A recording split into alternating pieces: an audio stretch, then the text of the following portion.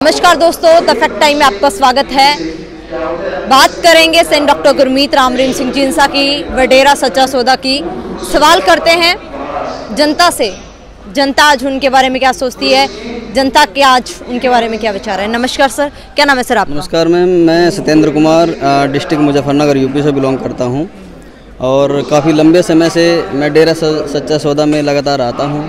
मेरी फैमिली और मेरे रिलेटिव्स सभी डेरा सच्चा सौदा को दिल से मानते हैं और इनके बताए हुए वचनों पर तय दिल से अमल करते हैं जिसके चलते हमारे परिवार में गाँव में जिस चीज़ को भी लेकर हम हमने सोचा there are so many times you are getting a best benefit from the guidance of the Dera Sacha Sauda.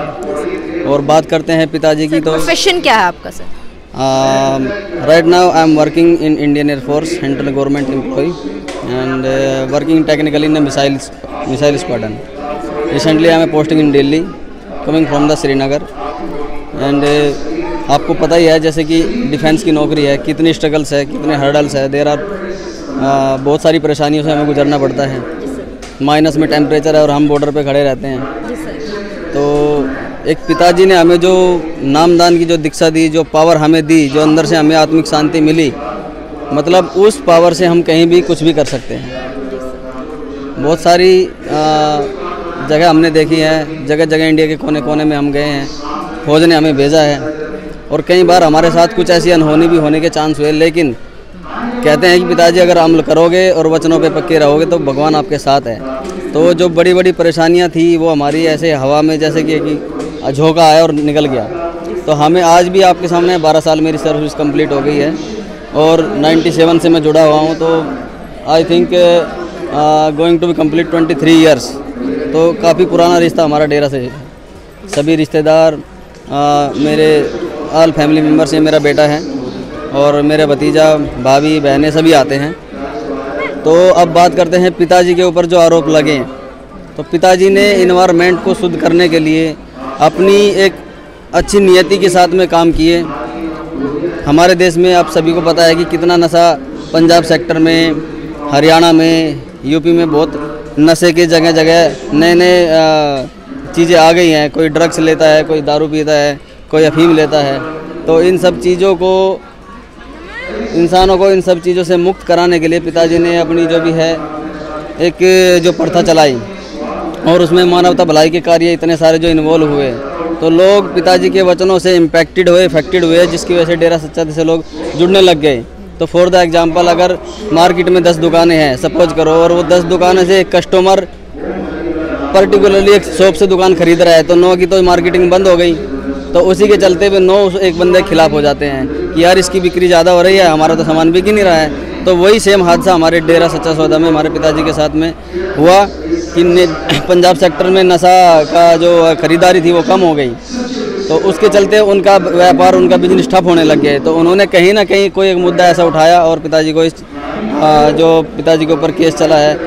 तो it's not good until unless we are not knowing the fact और फैक्ट जानने के लिए we have to be involve all the things the things are which are going here uh, right now i am the in De- Dera Sacha Sauda Barnawa UP यहाँ पे जो एक working culture है it's very different बहनें sisters mothers ladies department अलग है अलग तरह से सेवा करता है।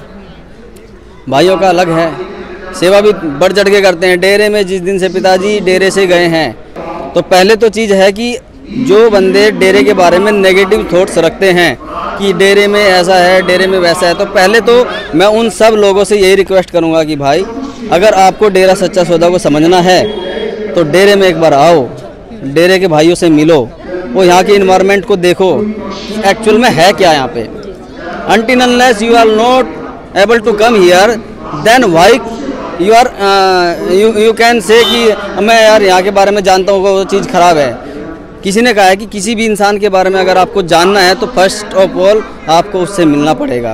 सेंट डॉक्टर गुरमीत राम रीम सिंह जिनसा की बात करें उन्होंने कंट्री के लिए क्या कंट्रीब्यूट किया है? कंट्री के लिए देखो कंट्री के लिए आप सफ़ाई अभियान के बारे में फ़र्स्ट ऑफ़ ऑल जो सबसे first and foremost thing is that if we are living a cleanliness area then we should feel pride आप कहीं भी रह रहे हो तो सबसे पहले आपको उस इन्वायरमेंट को देखना है कि क्या वो क्लीन है कि नहीं है।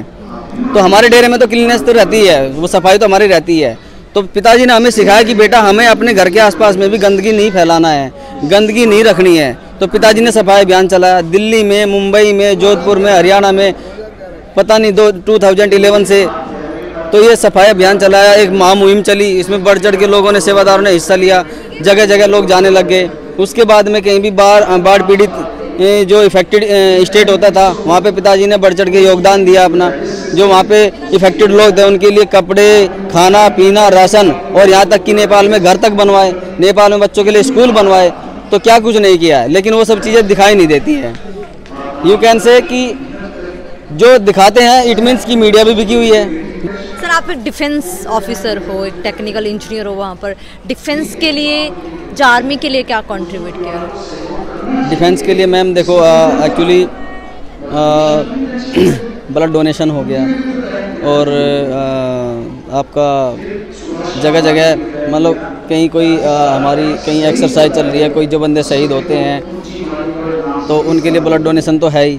दूसरा उनकी फैमिली उनकी फैमिली के लिए भी कुछ ना कुछ पिताजी ने राहत रखी है लेकिन आईटी को नीड है आज सन डॉक्टर गुरमीत रामदेव सिंह बिल्कुल है देर इज़ नो डाउट हमारे बीच में अगर कोई ऐसे एक महापुरुष निकल जाए सपोज़ करो घर में एक प्रिंसिपल होता है, घर का head may be his father may be वो हमारे फादर हो या हमारे ग्रांड फादर हो। अगर वे अच्छी गाइडेंस दे के बच्चों को अच्छी राह पे चला रहे हैं, अगर कल वे हमारे बीच से निकल जाए तो कहीं ना कहीं तो उनकी कमी खलेगी ना।